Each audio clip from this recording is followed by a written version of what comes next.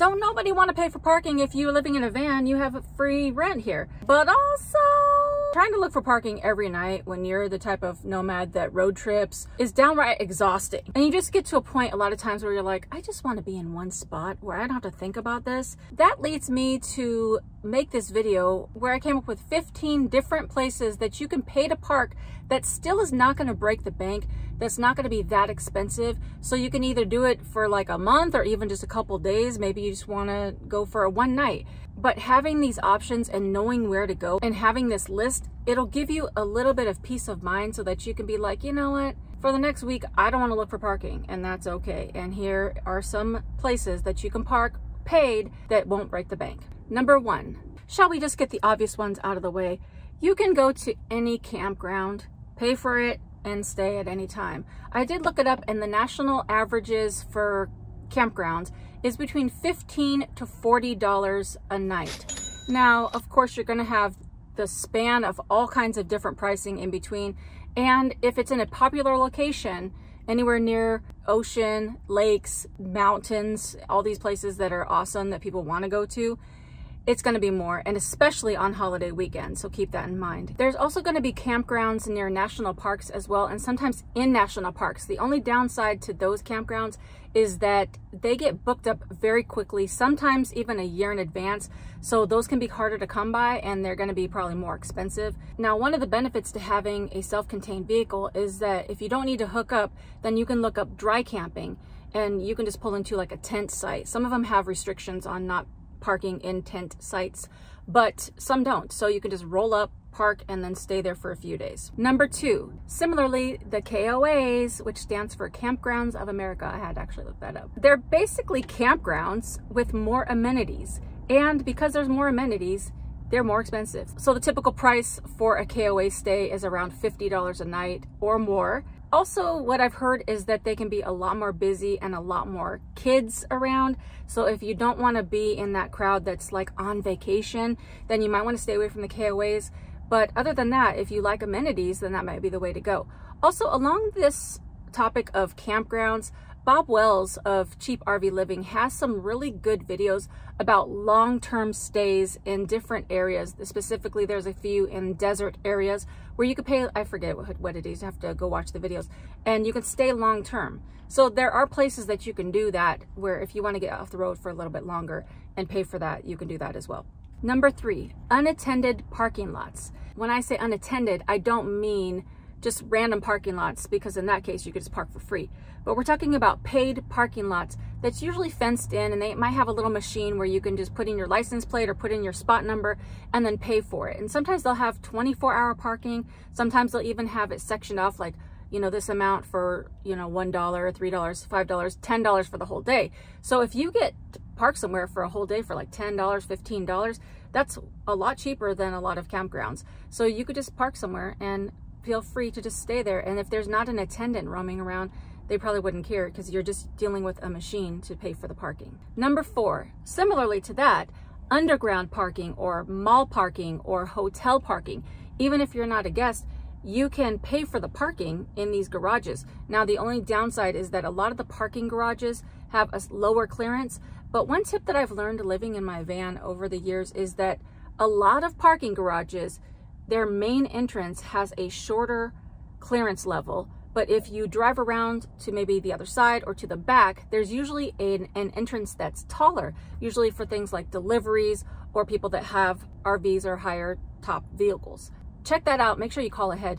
But you can typically go somewhere, like say if it's the mall and they charge for parking, it'll be like an hourly rate, but there'll be a maximum daily rate. And in that case, you can probably park there. Now, of course, a lot of these places might have cameras, and if they do and they have security and they don't see somebody getting out, if they're really looking, they might come tap on your door. So take that one with a grain of salt. But a lot of places, they really don't care, especially if there's no patrols. And so you could just park there and maybe it's like $10 a night. It's not very expensive if you're wanting to get off the road.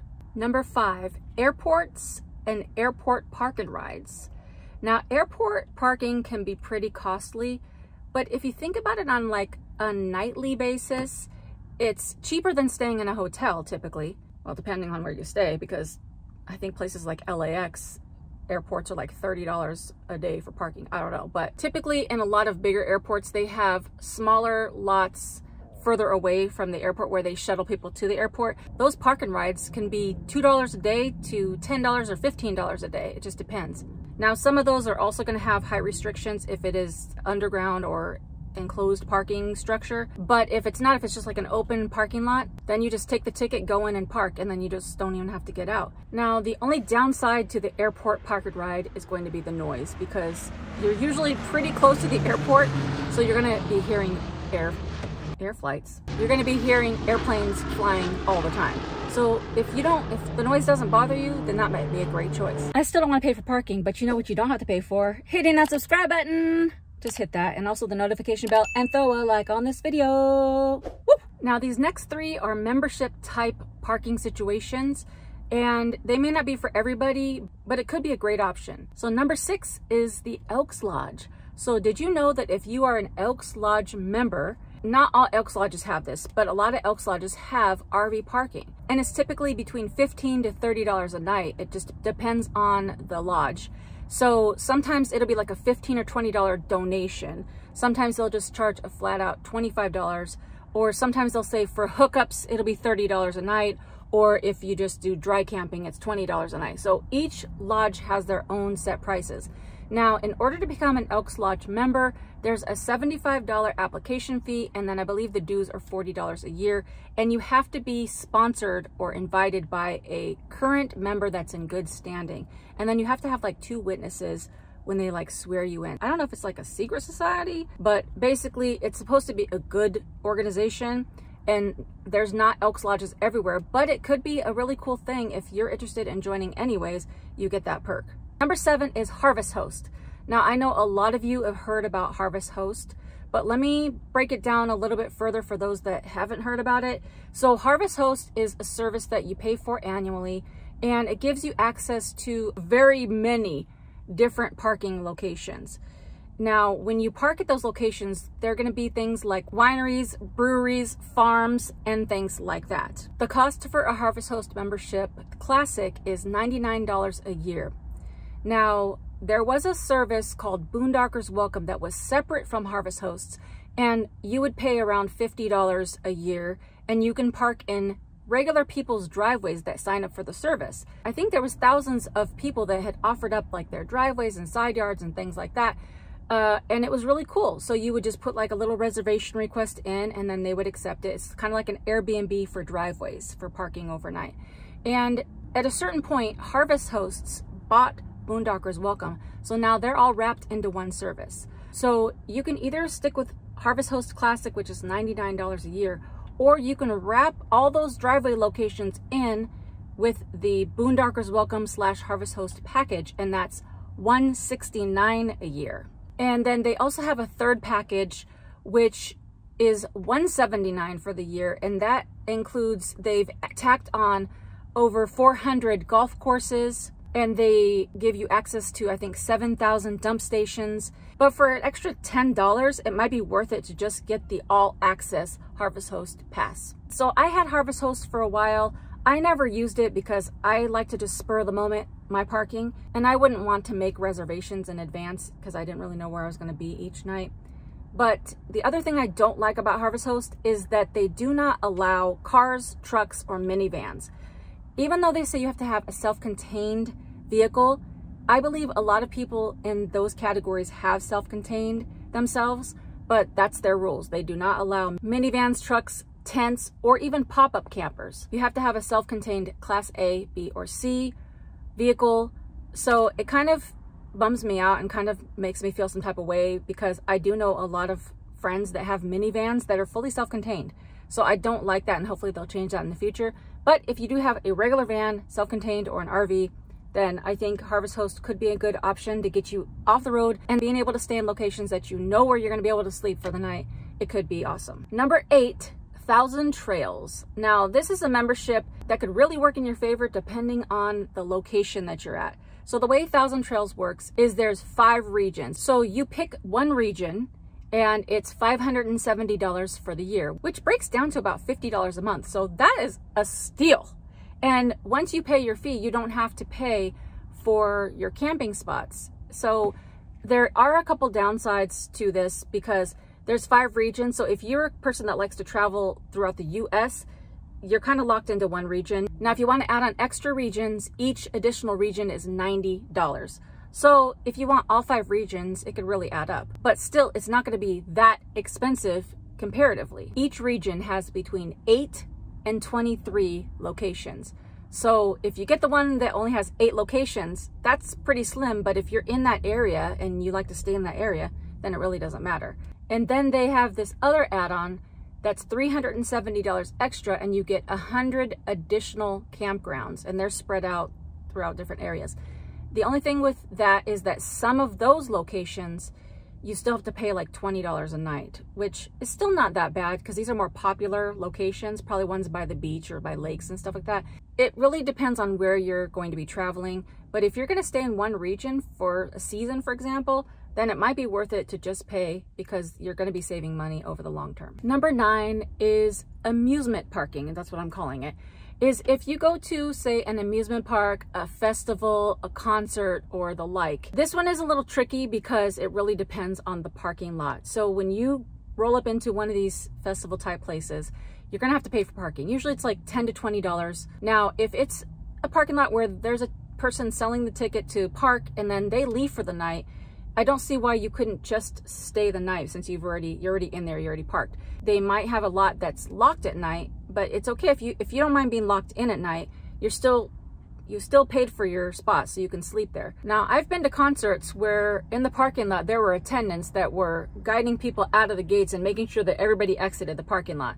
So if that's the type of parking lot that you're going to, you're going to be in bad luck because they might tow your vehicle or try to with you in it. I've also been to concerts where they have a machine where you just push the button, get the ticket, and then you go in and there's no attendance. So in that case, you could most likely just park there for the night. Number 10, storage facilities. Now this one is a bit controversial because this one would require you to be paying for a storage unit or paying for RV storage already at that facility. Now, if you're already paying for it, that's like your payment of entry really, but this varies widely because I've heard of storage unit owners or people that work there that are very diligent about making sure that nobody is living in the units or living in the RVs. And then there's other facilities, they just really don't care.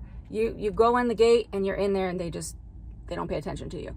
So you really have to kind of get a feel for your storage facility and what you think you could get away with. But if you feel like you can just pull into the gate and pull into the RV parking that you've paid for, then I mean, it's not that bad because you're already paying for it. Number 11, colleges.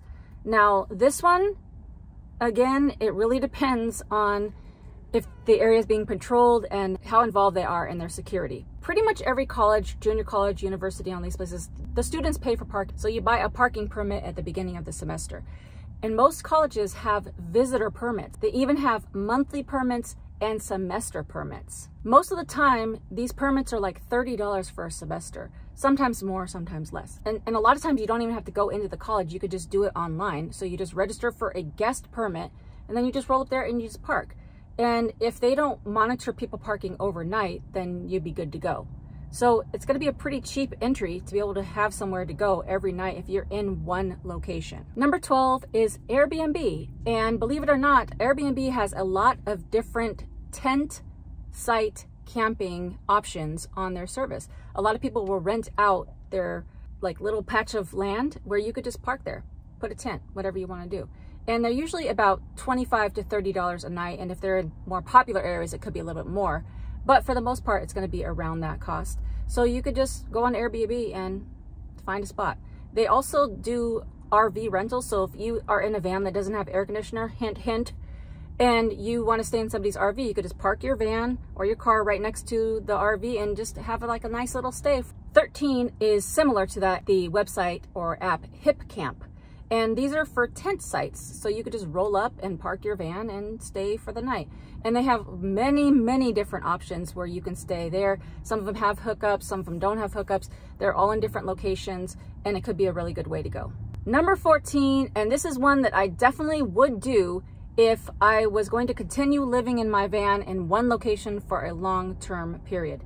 I would go on Facebook Marketplace or Craigslist and I would put an ad saying that I'd like to rent somebody's driveway or side yard. Many people are looking for additional income sources. And if you say, I'll give you $100 for the month, $200 for the month, you have one spot that you can go to at all times in that city, in that location. And sometimes you can negotiate with them giving you water hookup or, you know, their Wi-Fi or whatever like that. But that'd be something that you can negotiate with somebody, especially if you know people in that area and they're friends or family and you want to kick them down some cash. That's a good way to spend your money because then you know and you have peace of mind that you have somewhere to sleep every night, same location, and you don't have to really be kind of involved with that person. You could just park and then leave during the day or whatever. And it's a great, great option. And before I get to number 15, I want to say that some of these are legitimate, like campgrounds, Thousand Trails, Harvest Hosts, and stuff like that. The other ones, there some of them are questionable that you don't know if you're allowed to like really be sleeping there overnight, but you're paying for that. Do not camp there. This is any video that I make about parking overnight somewhere. It's not the time to be putting out your lounge chairs, putting out your grill, you know, doing your laundry outside, cooking and stuff like that. That's not that's not the place for it. Even though let's just say you put park in a parking garage, it and you pay for it, doesn't mean that you have access to camp there. This is not a camping situation. It's a parking overnight situation. All right, so number 15 is getting a ticket. Now this does not sound ideal, but I've known other nomads that they're like, you know what? The ticket here is $40 to park right by the ocean. I'll just take the ticket. I'll take the chance because you don't know if you're going to get a ticket.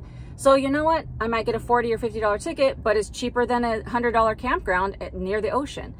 I mean, it's not a bad way to go because the odds may be in your favor in that case. You might be able to stay five days with no ticket. You might be able to stay, be able to stay longer. You know, you're basically gambling. So, I mean, it's a paid option that's hit or miss. And I've known people that have gotten away with parking in beautiful locations for long periods of time without ever getting a ticket. So it's just something to think about. Now, these are my 15 different options to pay for parking if you don't want to have to think about finding free parking in different locations every night. But I'm sure there's many more that I've missed. So leave it in the comments. What's your favorite paid place to park while living in a vehicle? Now, I know many of us, myself included, again, do not like to part with my cash. So in the next video, I'll be sharing like 30 different spots that you can park for free that you don't have to even think about. So make sure to stay tuned for that video. Until next time, bye for now.